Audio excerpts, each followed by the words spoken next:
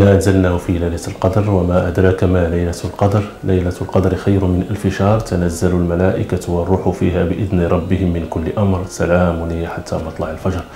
متتبعي قناة أنفاس تيفي في هذه العشر الأواخر من شهر رمضان. كاينة واحد الليلة عظيمة وهي ليلة القدر. يعني إحنا المغاربة ومجموعة من الدول العربية والإسلامية تحتفل بهذه ليلة القدر في ليلة السابع والعشرين من شهر رمضان. اش خصائص تعاد ليلة القدر واش المسائل المستحبة اللي خصنا نديرو في هذه الليلة؟ من أجل التقرب إلى الله باش يتقبل منا الصلاة والصيام. آه، من أجل مناقشة نقاط ونقاط أخرى نستضيف السي محمد خقلي أستاذ في الفكر الإسلامي. سي محمد خقلي مرحبا بك. مرحبا السي أحمد ومرحبا بيا في الدار اللي كتعتبر الدار ديالي الثانية هي قناة أنفاس تيفي ولا أدل على ذلك هذا التنوع الذي تميز به هذه القناة المباركة خلال شهر رمضان وإيلائها للجانب الديني حيز كبير عبر البرنامج اللي كنعملو يومي قصص الأنبياء أسأل الله تعالى أن يبارك في هذه القناة وفي صحفيها وتقنيها وكل من يقوم على إنجاح هذه القناة المباركة. بداية سي خقلي اشنو هي خص... أهم خصائص ليلة القدر؟ ولها خصائص عدة سيدي أحمد حيث أن الله تعالى آه، خصص لها صورة في اي القرآن الكريم وهي سورة القدر. قال الله تعالى بعد أعوذ بالله من الشيطان الرجيم. إنا أنزلناه في ليلة القدر وما أدراك ما ليلة القدر. ليلة القدر خير من ألف شهر. تنزل الملائكة والروح فيها بإذن ربهم من كل أمر. سلام هي حتى مطلع الفجر. ولها خصائص عدة حيث أنها فيها أنزل القرآن وفيها تتنزل الملائكة. تنزل الملائكة والروح. الروح أي هو جبريل عليه السلام. وقال العلماء سميت بليلة القدر لأن الله تعالى فيه قدر الأرزاق.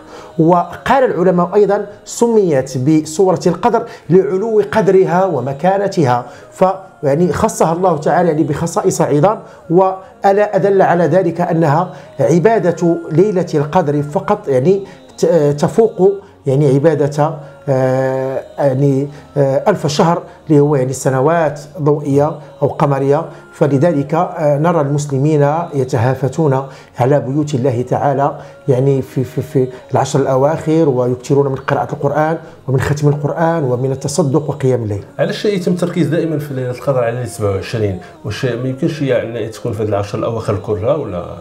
هي سيدنا محمد عليه الصلاة والسلام قال نتحروها في رواية في السبع يعني السبع أيام. وفي روايه أخرى الأواخر. نعم وفي رواية أخرى في, في, في التسع الأواخر. فالعلماء قال على انه يعني إنسان يجتهد في هذه العشر الأواخر ويحاول أن يدركها يعني وخاصة في الليلة الوترية.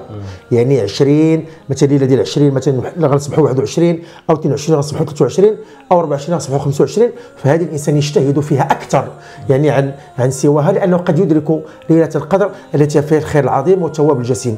و هناك يعني قول أو حديث يعني لابي بن كعب يقول بأني أعلم هذه الليلة إلى 27 شنو هي فكان فيها النبي صلى الله عليه وسلم يأمرنا بالصلاة فيها والإجتهاد فيها. والحديث في المسلم على أنه يعني كم معطيات كثيرة كتخلي المسلمين على أنهم يجتهدوا اللي تيخلي العالم الإسلامي كله تيجتهد في هذه الليلة آه، نعم سيدي أحمد حتى من يخص يعني الإعجاز العددي بعض العلماء كيجتهدوا تيقول لك على أنه ورد يعني في لو قريتي مثلا إنا أنزلناه في ليلة القدر اللي قال لك الليلات يعني كتجي في الرقم ديال ديال الوتر فكيبقى اجتهادات ولكن لا بأس من ذلك. والإنسان يعني يجتهد في العشر الأواخر ما لا يجتهد في رمضان. ما هي فضائل تاع ليلة 27 أو و... ليلة القدر؟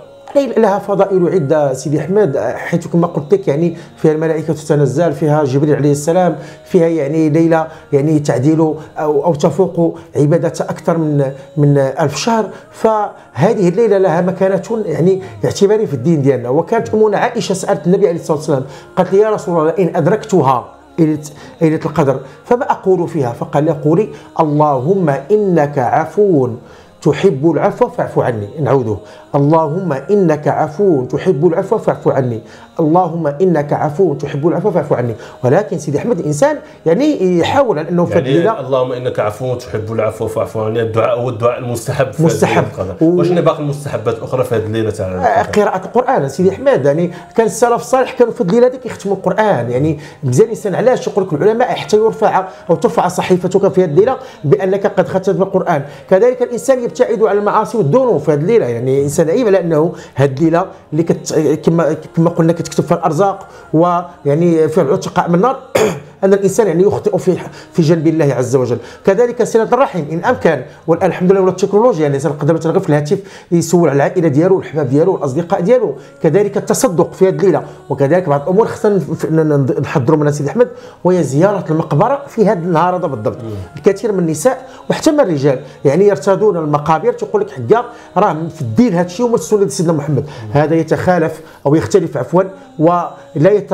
يعني لا يتق... يعني ليس يعني له يعني زياده المقابر ما خصهاش تكون مختصره على يوم من الأيام. نعم ليس له اصل نعم. وحنا سيدي أحمد كنشوف حتى العادات اللي كنشوف المقبرة في هذا النهار تكون ازدحام والناس صايمين والناس يعني تما يعني يبيعون ويشترون. فيعني لا يعطون المقبرة حقها والنبي صلى الله عليه وسلم يقول كنت قد نهيتكم عن زيارة القبور فزوروها فإنها تذكركم بالآخرة. لذلك على المسلم أن يتقيد بسنة النبي صلى الله عليه وسلم في هذه الليلة يكثر من ذكر الله قيام الليل كذلك بعض الاخطاء اللي كيديروا الناس. كيبقاو يصلوا من العشاء حتى الفجر. لا الحباب ديالنا هذا هذه ليس له أصل. بالعكس الإنسان يعني حتى ذاك الحديث المعروف ديال ثلاثة جوع سيدنا محمد كيزوروه ومن يسمعوا أمنا عائشة كتحكي على القيام الليل والصيام ديال النهار وكذا فاعتبروا نفسهم أنهم ضعاف فقال فيهم واحد أما أنا خد عاد على نفسه. فاقوم ولا أرقد غنبقى ديما نصلي بالليل وما نعش وهذا يعني من الرهبانية التي حاربها الدين ديال الإسلامي. ديننا دين اعتدال دين وسطية.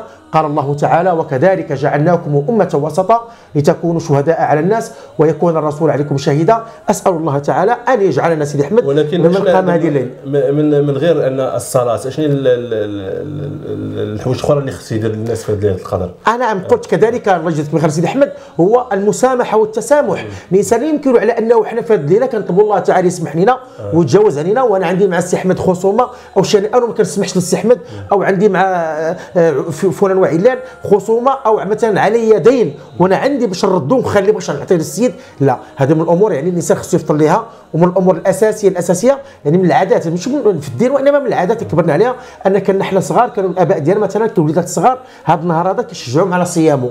يعني لقدسية هذه الليلة ومكانتها فنربي هذا الجيل على حب الله وحب رسول الله. والأساس الأساس أن الإنسان يقبل على الله تعالى بقلب نقي. قال الله تعالى إلا من أتى الله بقلب سليم. فالعبادة الشيء الأساسي فيها هو الإخلاص أن يكون هذا العمل لله. أنا ما كان وبعد العادات كذلك السي أحمد بعد الناس كيديروا كيدوروا على المساجد كيصلينا اربعه الركعات هنا اربعه الركعات هنا. هذه الأمور ليس لها أصل ولا تأصيل ديني. آه. حنا الآن كنشوف يعني الآن يلا خرجنا من الجائحة وباقي ربما كنسمعوا بعض الإحصائيات وإن كانت ضئيلة بأنه ما زال الجائحة. قيمة في الإنسان يعني خاصو يدير الاحتياطات ديالو. من يمشي للمسجد ماشي ندخل هذا المسجد هذا وندخل المسجد هذا وندخل المسجد هذا ربما قد أودي أو اتاذى أنا. فالإنسان عليه أن يضبط نفسه وأن يقيم تلك الليلة بركعات خفيفات في مسجد يكون قريب منه أو في مسجد بعيد. عليك يعني عنده يعني الدابة أو السياره ولكن علينا أن نستحضر جيدا على أن هذه الليلة ليلة عظيمة فيها يعني كما قلنا آه، ليلة يعني آه، يعني الله تعالى يتجاوز فيها العباد والله يباهي بنا الملائكة يقول شوفوا العباد ديالي في هذه الليلة يعني يصومون ويقومون الليل ويدعون الله عز وجل أن يتجاوز عنهم. لذلك على المؤمن أن يجعل في هذه الليلة يعني ذكر لله عز وجل وأن يكثر من قراءة القرآن وإن يجتمع مع حبذا إنسان يجتمع مع وليداته ولا قريب ديالو على قراءة القرآن وعلى الدعاء المبارك.